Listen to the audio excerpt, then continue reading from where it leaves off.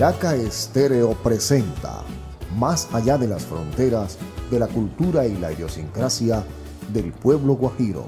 Capítulo 3. Idiosincrasia. ¿Nos une o nos separa? Una producción en el marco del proyecto Las Fronteras Cuentan.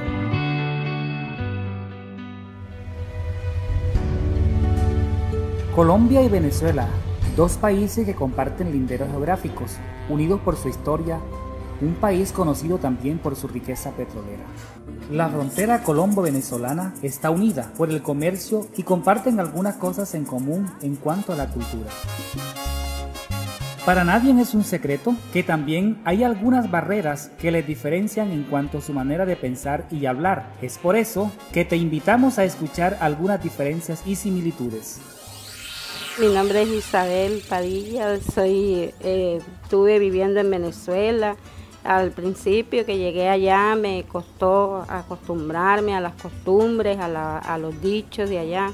Por ejemplo, como cuando llegamos allá, mis hijos iban a la tienda, a la tienda aquí, allá le dicen bodega, a comprar papel toalé. Eh, entonces ellos iban, sabe que aquí le dicen papel higiénico pero allá es papel toalé, entonces ellos iban, no, que un papel toalé, y de una vez empezaban a reírse en la tienda de ellos porque ellos no sabían qué, o sea, ya no sabían qué era eso, quisiera, porque qué era eso, y ellos decían, no, papel toalé, ese que está allá, me señalaban, entonces ellos decían, no, que eso no se llama papel, eso no se llama papel higiénico, eso se llama papel toalé, que no sé qué, y empezaban a reírse y a burlarse de ellos. En Colombia y Venezuela, referirse a las comidas u objetos puede tener significados ofensivos. Edinson Carrillo e Isabel Padilla nos cuentan palabras del dialecto colombiano y venezolano.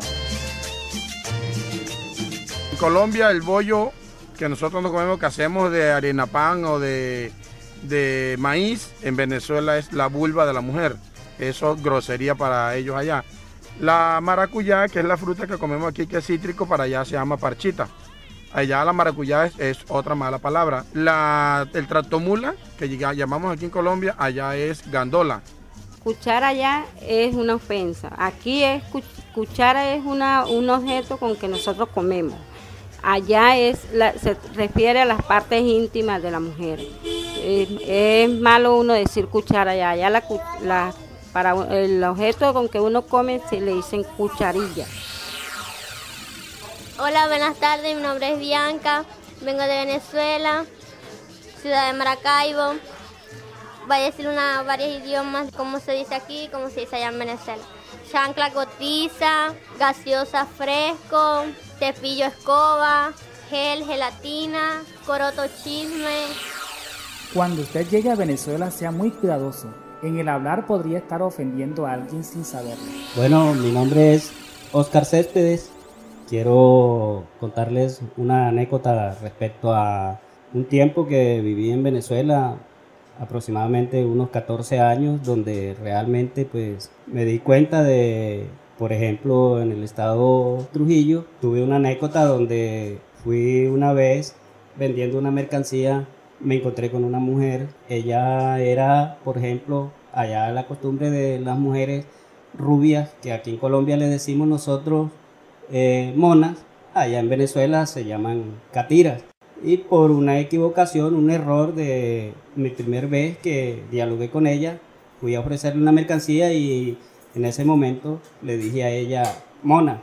Y la mujer realmente tomó una reacción muy espontánea, me ofreció cachetearme porque realmente pues yo en ese momento la estaba ofendiendo. No tenía que decirle mona, yo tenía que decirle a ella, era catira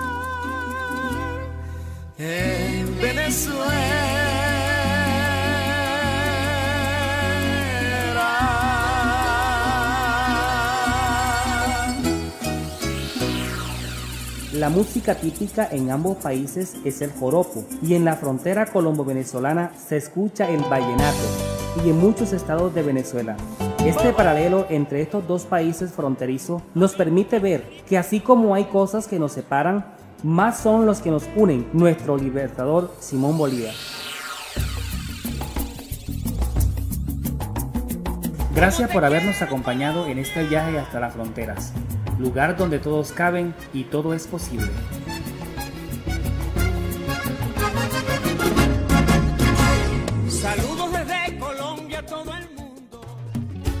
Veraca Estéreo presentó Más allá de las fronteras de la cultura y la idiosincrasia del pueblo guajiro.